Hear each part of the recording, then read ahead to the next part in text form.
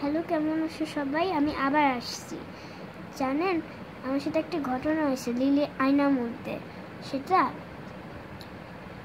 আমি যখন পিছনে তাকাইছিলাম, তখন আমি একটা ভূত দেখছিলাম। আমি অনেক কান্নাকাটি করছি অনেক ভয় ছিল, অনেক স্কেয়ার ছিল, অনেক ভয় কাটছিল।